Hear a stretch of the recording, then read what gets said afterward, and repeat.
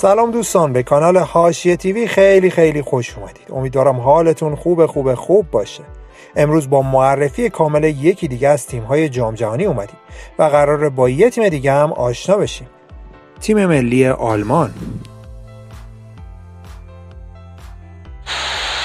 تیم ملی فوتبال آلمان بعد از حذف در مرحله گروهی در جام جهانی قبلی در روسیه به دنبال جبران مافات در قطر هستش و می‌خواد درخشش داشته باشه در اینجا.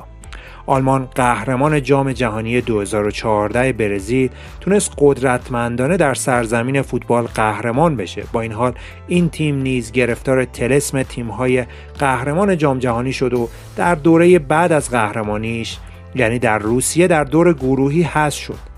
قهرمان چهار دوره جام جهانی الان فقط برزیل رو به عنوان تیم پر افتخار بالای سر خودش داره و در رنکینگ جهانی در رتبه دوم هستش. وقتی نام آلمان رو میشنویم یاد تلاش بیوقفه بازیکنهای این تیم و البته موفقیت های اونا میافتیم. جرمن ها هیچ وقت در تورنمنت ها حریف آسونی نبودند و همیشه به عنوان تیمی مدعی در رقابت های جام جهانی و یورو به حساب می اومدن. کمتر کسی انتظار حذف این تیم در مرحله گروهی جام جهانی رو داره. شکست برابر مکزیک و کره جنوبی و پیروزی برابر سوئد باعث شد آلمان با سه امتیاز از مرحله گروهی جام جهانی 2018 کنار بره.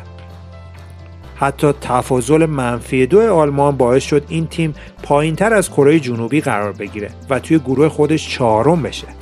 فوتبال آلمان رو می‌تونیم کارخونه بازیکن سازی بدونیم. اقرار نیست اگه. ادعا بکنیم این تیم توانایی اعزام چهار تیم خوب رو به جام جهانی داره و حتی نیمکت ذخیره هاشون رو هم بازیکنهای بزرگی تشکیل میده که خودشون می‌تونن یه تیم مستقل توی جام جهانی داشته باشن.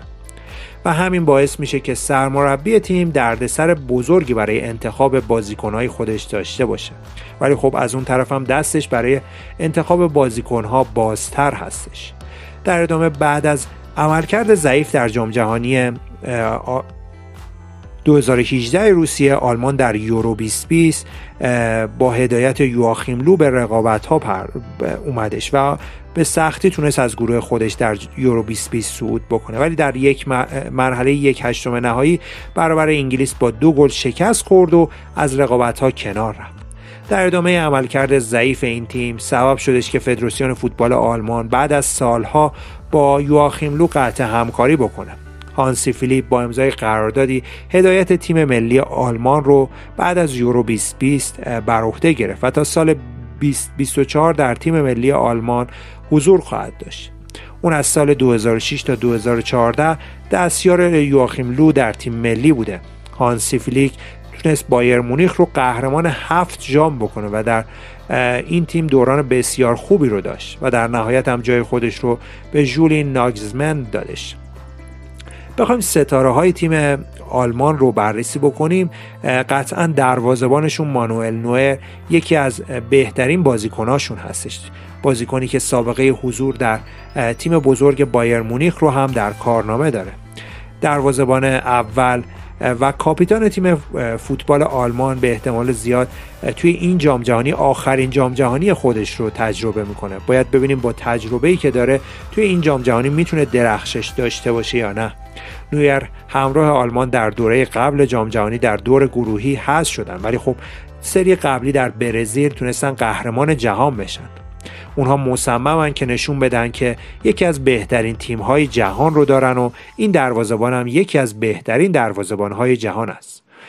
مانوئل نویر به بازی هجومی هم حتی معروفه با اینکه دروازه‌بان هستش ولی توی بیشتر تایم توی نیمه زمین هست و با بازیکنهای تیمش تا وسطهای زمین حتی پاسکاری هم می‌کنه. سرمربی فعلی تیم آلمان هم همونطور که گفتم هانسی فلیک هستش که بعد از نمایش ضعیفی که یواخیم لو در جام جهانی قبلی داشت جایگزین اون شد.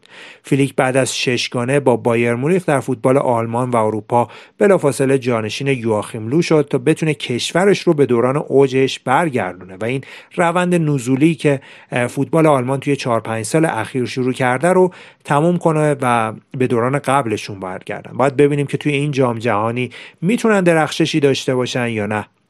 جالبه بدونید که تیم آلمان در جام جهانی با تیم کشورمون هم رو در رو شده و در جام جهانی 1998 با تیم ایران هم گروه بودش که موفق شدش تیم ایران رو شکست بده.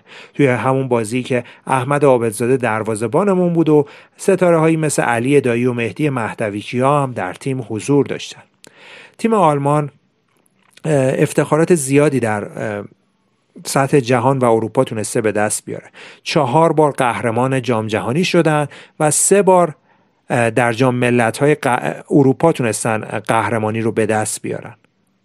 البته یه بخشی از قهرمانی و افتخاراتشون برمیگرده به اون دوره‌ای که آلمان غربی و شرقی وجود داشت که با تیم آلمان غربی این موفقیت ها رو به دست آورده بودن که حالا خود فیفا اینها رو جزء سوابق آلمان به حساب میاره. بهترین گلزن آلمان ها میریسلاف کلوزه هستش که 71 گل برای تیم آلمان زده. بیشترین بازی رو هم لوتوماتوس داشته که 150 بازی ملی برای تیم ملی آلمان انجام داده تیم آلمان موفق شدش به عنوان تیم اول گروه خودش به جام جهانی صعود بکنه و در دوره قبلی در جام جهانی روسیه هم در همون مرحله گروهی هست شدن تیم آلمان در گروه پنجم رقابت ها در جام جهانی قطر حضور داره و با تیم های ژاپن، اسپانیا و کاستاریکا هم گروه هستش. آلمان اولین بازیش رو در دو آذر ماه ساعت 16 و 30 دقیقه برابر ژاپن انجام میده. 6 آذر ساعت 22 و 30 دقیقه بازیش برابر اسپانیا هستش و 10 آذر هم ساعت 22 و 30 دقیقه بازی آلمان و کاستاریکا انجام میشه. باید ببینیم آلمان می‌تونه قهرمانی بعدیش رو در رقابت های جام جهانی به دست بیاره و پر افتخارترین تیم جهان از بود قهرمانی بشه یا نه. باید منتظر باشیم و ببینیم عملکرد تیم ملی آلمان در این جام جهانی به چه شکلی خواهد بود. خب دوستان این بودش این قسمت از معرفی تیم های جام جهانی قطر. حتما یه سرم به کانال ما بزنید و معرفی تیم های دیگه جام جهانی رو هم تماشا کنید. یه playlist خیلی کامل هم توی کانال موجوده که تمام حواشی جام جهانی و ویدیوهای جذابش رو براتون توی اون playlist قرار میدم که می‌تونید به این playlist هم سر بزنید. لینکش رو براتون قرار میدم. حتما هم کانال ما رو subscribe کنید و زنگولش رو فعال کنید که ویدیوهای بعدی جنجالی رو اولین نفر ببینید.